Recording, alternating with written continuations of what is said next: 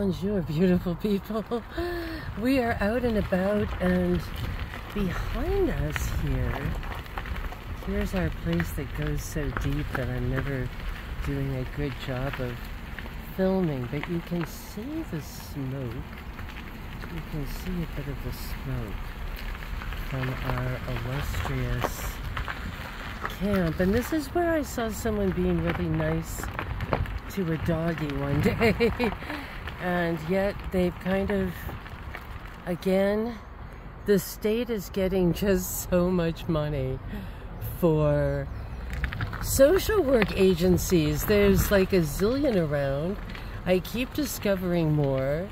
Um, and at the moment, there are no grants available from any of them. I saw that the grant money from the state just went to pay the salaries for the people who say um, we're sorry there's no help. So now we've just got this vast expanse and it goes so far back. If you can see, can you see the smoke way, way back there?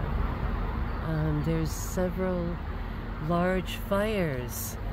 Um, it's just a really tough place to film. I'm a little nervous about going in there. I think people feel um, invaded um, and I guess if I can't go in the governor's house, I need to leave them alone too. We are behind the bright green marijuana store.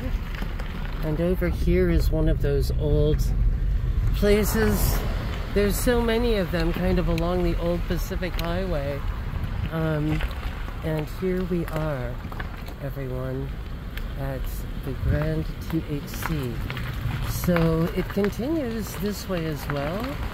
It's like a little city at this point, isn't it? It's like a little town.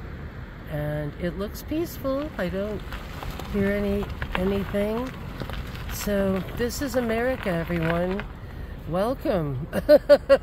Welcome to America. There's a reward. Oh my God. Oh, that's so sad. Something got, I don't know, yikes. Much love.